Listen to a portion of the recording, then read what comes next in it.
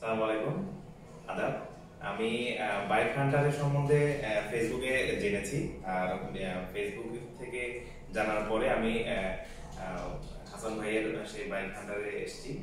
আর এখানে আসার পরে বাইকটাকে আমি সিরামিক কোটিং করলাম। এটা জাপ- জাপানের যে সিরামিক কোটিং সেটা করেছি। তো আমার বাইক অনুযায়ী ফ্ল্যামিঙ্গোটা করতে পারতাম চাইলে, তবে ওটাও ভালো। জাপান, জাপানের যে জাপানের যে সিরামিক কোটিং সেটাও ভালো।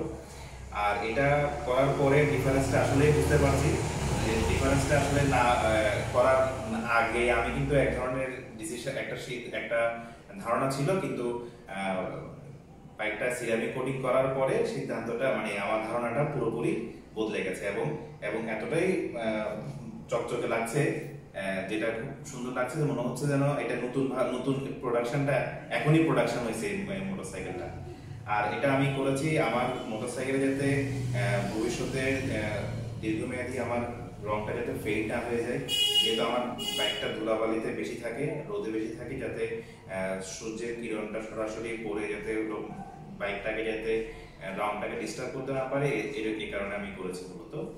আর বাইকটা করার সিরামিক কোটিং করার পরে অ্যাটলিস্ট আটচল্লিশ ঘণ্টা থেকে বাহাত্তর ঘণ্টা দ্যাট মিনস তিন দিন রেখে দিলে বাইকের মানে যে সিরামিক কোটিংয়ের যে আসল যে সুফলটা, সেটা খুব ভালো পরিমাণে পাওয়া যাবে।